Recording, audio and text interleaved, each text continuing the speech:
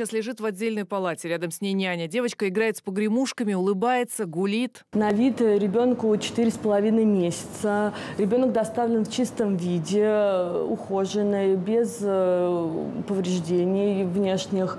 А состояние ребенка удовлетворительное, аппетит сохранен. На улице под дождем девочка лежала совсем недолго. Переохлаждения не было, каких-то других заболеваний тоже не нашли. Ребенка полностью обследовали и теперь просто наблюдают. Вопросов к ее состоянию здоровья пока у докторов нет, но это данные первичного обследования, нет следов насильственных действий, каких-то иных.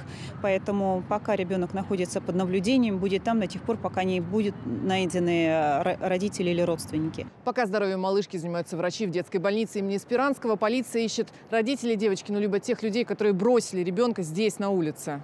Все произошло около семи вечера. Официальной информации немного. Какой-то человек, скорее всего, женщина, вот она, стоит на углу улиц Щепкина и Дурова, качает на руках малыша, потом оставляет его и уходит. Таксист, который остановился и ждал клиента, заметил, что сверток шевелится. На улице был проливной дождь, но он все же вышел посмотреть и понял, что это ребенок. Дальше уже мы видим, подъехала полиция, скорая. По данному факту организовано проведение доследственной проверки. Следователи устанавливают родителей и родственников ребенка. Всех, кто обладает сведениями о родственниках найденного ребенка, просим сообщить в Главное следственное управление Следственного комитета России по городу Москве. Рядом с этим местом, буквально в пяти метрах, есть небольшая кофейня. Ее владелица Юля рассказывает, что примерно в этот же временной промежуток к ней заходила женщина. Она заказала кофе, разложила на столе документы и игрушки, а потом убежала, не заплатив.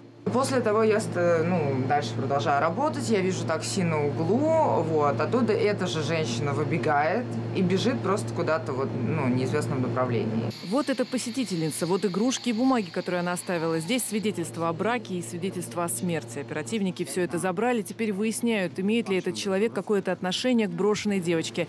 И просят всех, кто знает хоть что-то о малышке, сообщить информацию следователям.